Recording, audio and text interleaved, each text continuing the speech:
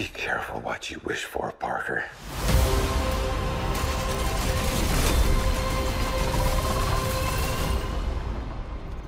Hello, Peter. So as you all should have hopefully noticed by now, Spider-Man No Way Home is now literally under a month away from release date, and unless you've been living under a rock your whole life, it's been pretty evident the internet has exploded as almost no one can stop talking about it. I mean, are we really surprised though? The movie's been announced since 2019 and now it's virtually on the horizon, so expect to be overwhelmed. So with the movie so close to releasing, and since us Brits are getting a two day shortcut ticket from the Americans, I thought what better to do than upload a 10 to 20 minute long video essay closely analysing every minute detail right to the brim and make a series of unbelievably nerdy theories whilst talking in front of my camera for an eternity because who else has already done that? I mean just scrolling through your daily YouTube recommendations and search options should be enough to get the message. Damn, I'm so inventive, I really should achieve a certificate from YouTube or something for my inspiring changes to mankind. But anyway, with Sony dropping the second trailer last week, we now have two trailers and they're both nothing but goated. Saw the first one, loved it, saw the second one, couldn't have loved it more. So with that in mind, here are 5 things we just have to see in No Way Home, and trust me, by the end of the video, you'll be nodding your head so much you'll be shaking uncontrollably. And don't worry guys, I'm not actually going to do all that crap, I mean everyone's already doing it daily, and I ain't going to make the video that long, so relax and enjoy yourself. Also, beware there will be major spoilers for Venom Let There Be Carnage in this video. I mean, you really should have seen it already, but peek if you haven't. As well as the hypothesis that I could end up accidentally spoiling the movie for any of you all. So if you're really hard on spoilers, leave now. Alright, let's go. Number 1. Make the Sinister Six work as a team. Now by far the biggest thing about this movie, ignoring the three Spider-Man teaming up of course, is definitely the Sinister Six. I mean, Sony's been trying and failing with this for years now, with each repeated new movie attempting to set up a failed universe. And here we are, seven years later, and Sony seems they have finally managed to receive a W, so let's hand it to them there at least. Now, so far we have five confirmed villains Doc Ock, Green Goblin, and Sandman from the Raimi movies, along with Electro and Lizard from the Amazing Spider Man movies. And most of these are pretty awesome villains. Certainly Ock and Goblin, Sandman I guess to a lesser degree, and the other two not so much, but still, who doesn't vibe with Electro's kick-ass theme song? So if you all haven't noticed already, I am super excited to now finally be seeing all five of these villains, plus an unknown candidate who is probably Venom, but maybe not, meeting on screen together for the first time.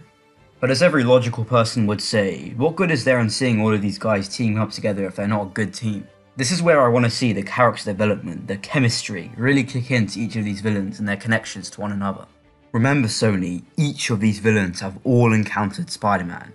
Maybe the same one or a different one, but nonetheless, Spider-Man.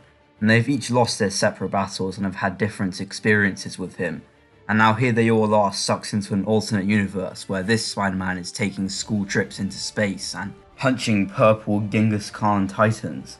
And so naturally there's a lot of magic juice they can put together with all that, so don't waste the story.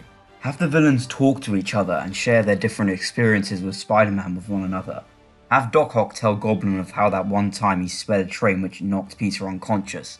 Have Electro tell Lizard of how Spider-Man is so selfish because he forgets everyone's names.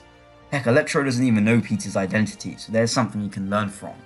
You could even have someone like Sandman or maybe even Doc Ock tell the others of the truth about Spider-Man, how he's not actually that bad of a guy. Either way, the point is there's a ton of awesome stuff they can do here with these six sinister villains, so making their character interactions work and having them successfully put Peter in a vulnerable spot would be exactly what we all wanted.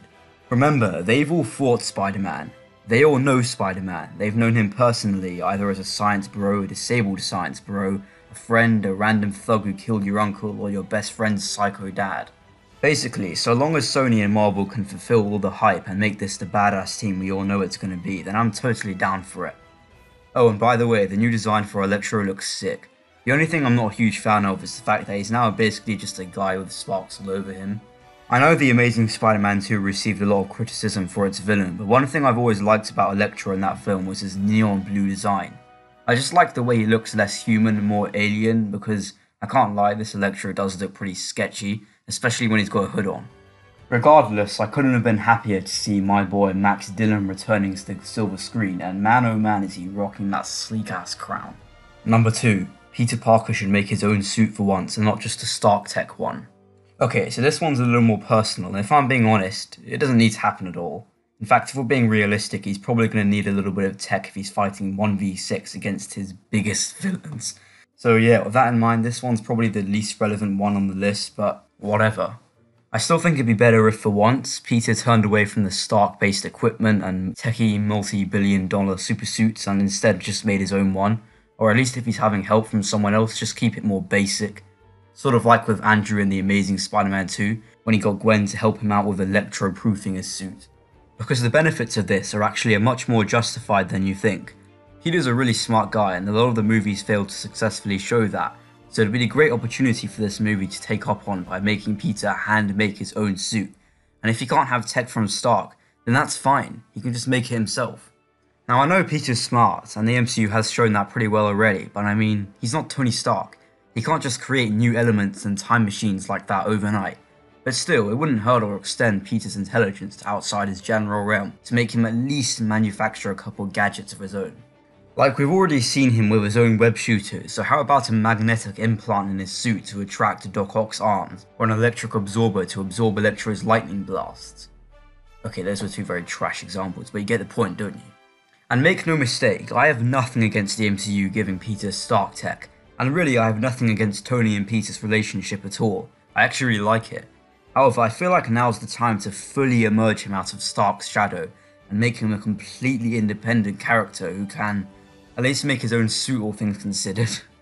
And I know, the MCU has technically already given Peter his own homemade suit, and while it's certainly more realistic than the models Tobey and Andrew made, it, it looks like trash, really. At the time of Civil War and even Homecoming's release, I'd be totally fine with him wearing this junk, however when he's facing off against his six biggest villains of all time with Tobey and Andrew by his side, he's going to need to be looking clean as can be. Now looking at shots in the trailer, it definitely looks like Sony isn't going to be changing anytime soon, and that's fine. However, here's to hope they will. Number 3. Restore Doc Ock and Sandman's redemption arcs. Okay, so this is another one I've been seeing going around a lot recently. I gotta say, I totally agree with it. Now, as you all should have known, unlike the rest of the villains, Doc Ock from Spider-Man 2 and Sandman from Spider-Man 3 didn't die as villains. Well, I mean, technically, Ock didn't die on screen, he just supposedly fell into a river, and Sandman just flew off into the wind, so... And that's not even as simple as them dying good guys, since they actually had legitimate redemption arcs written very nicely by Sam Raimi throughout both films. Ock's one being about using your intelligence as a gift for mankind, and Sandman's one being about forgiveness. And I can't lie, both are really great arcs, and to see them get ruined would be beyond disappointing. Now, as for the other villains, they all died evil, so I don't really care what they do with them. But in Ock and Sandman's cases, it just would make absolutely no sense at all if they suddenly came back, took one look at Spider-Man and were like, First, we attack his heart. And so that's why I was really relieved to see the trailers advertising Doc Ock questioning the reality of his situation he's in. Think about it, he's just fallen into an alternate universe where this universe's Peter Parker doesn't even have a Doc Ock. It would just be ludicrous if he were to die a hero in Spider-Man 2 but come back in No Way Home and suddenly be a villain again. That just completely defeats the point of his arc in Spider-Man 2, which he taught himself. So instead, what I think it would be better for them to do is basically as follows. Cut back to his death scene from Spider-Man 2 where he's under the river and is drowning, have a portal or something open up beneath him which takes him all the way to the MCU's universe, specifically this setting right here. Then, as he's waking up, because his mind is probably all over the place and slightly affected by this interdimensional travel, out of confusion he sees Tom's Peter and somehow views him as a threat or something, and then attacks him in the midst of his arrival. But upon further investigation, Ock eventually finds out this is not the Peter he knows from his universe, and in this scene right here, which I believe is Doctor Strange's prison or something, here should be where he and Tom's Peter come up with some kind of agreement where they both agree to help each other with their own individual problems. In fact, to even further emphasize just how vital Ock's arc from the last movie is, he could even pretend to be a baddie working for the Sinister Six, but at some point during the climax he can like switch sides or something and possibly even sacrifice himself for Peter. And I know I'm kind of just repeating everything Full Fat Videos has already said in his video. Who is an awesome guy, by the way, sub to him if you haven't already. But it's all just facts. What's the point in bringing back all these childhood icon villains only to destroy their established arcs? And so here's the hope they don't ruin Sandman and Doc Ock's redemption arcs and can somehow restore it in a way that pays tribute to both characters. Number 4. Tom shouldn't save MJ, Andrew Garfield should. So as we can see in the final few seconds of the second trailer, MJ is in some pretty hardcore danger. And of course, when everyone first saw this, including me, we all immediately thought of that very controversial yet beautiful scene from The Amazing Spider-Man 2 where Peter failed to save Gwen Stacy. Now at first glance, this may seem just like another leap towards nostalgia. I mean, what in this movie isn't nostalgia? But on second thoughts, they could actually turn this into a really great and beneficial scene by doing just one thing. Don't have Tom save MJ. In fact, when Tom's reaching his hand out to grab MJ here, have him fail. What, just so that MJ can be sent falling to her death? See, this is exactly where they could bring in Andrew Garfield's Spider-Man have him save MJ instead of Tom. Because in his universe, Peter failed to save his girl, he failed to save the love of his life, and as a result, his whole life was basically destroyed. So he knows what it's like to lose a loved one. No, not that old bozo. This one. And with all that emotional weight and regret still inside of him, it would be downright crucial for him not to let that happen to someone else, let alone an alternate variant of himself. Because that's just what Spider-Man does. So to have Andrew save MJ instead of Tom would be the perfect and most logical thing for a character like him to do, and it's exactly what fans want to see. And alas, here we come to my final suggestion for you Sony, I mean Marvel. Number 5. Don't ruin the Sinister Six. Now this heavily ties in with my third point on redemption arc, so I'm not going to keep this one too long. But I don't think anyone's going to want to say they want the Sinister Six to be ruined. Now before anyone accuses me, no, this is not an excuse for me to rant about the MCU's villain problem. As a matter of fact, I don't actually think the MCU's villains are that bad. I mean, take a closer look and you'll actually see we've had more than a few good villains. But it becomes a little different when you start taking villains from separate universes and put them under the guide of directors with different directing styles and ideas than their previous original director. You see, Doc Ock and Goblin were, and still are, household names in the Spider-Man world. And as everyone knows, both Willem Dafoe and Alfred Molina were great representing their respective characters. But it's not even just their acting. Dafoe and Molina's acting somehow perfectly merges with Raimi's directing style and especially his humour, and not just these two, practically every Raimi trilogy character might as well glue themselves onto Raimi, literally. There's just something so magical in how perfectly these actors' performances align with Raimi's directing style, particularly with all the corny jokes. And I mean, those things are so special I doubt many directors would successfully be able to replicate them.